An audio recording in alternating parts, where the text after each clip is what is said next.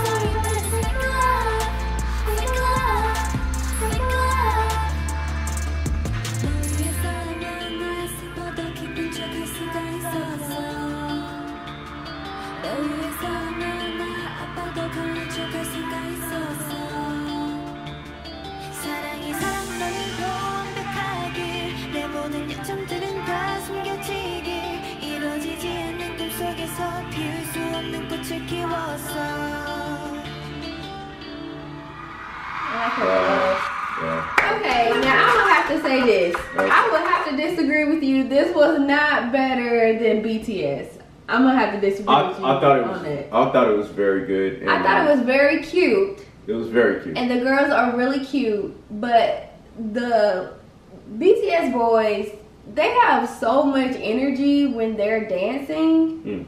It's like you really feel the movement. Right. And so I don't think they put the same amount of energy, but I do think it was good though. Okay. And very cute, very cute girls. Right. I, I thought it was good, and they were almost as good as the BTS boys. But of course, let us know what y'all think down below in the comments. Who do you think did it better in this fake love video? BTS. BTS or uh, (G)I-DLE. So go ahead and let us know. You're either Team Tasha or Team T. Let us know down in the comments. Hope you guys like this reaction video. We'll see you next time. Make sure you like, share, and subscribe. Peace.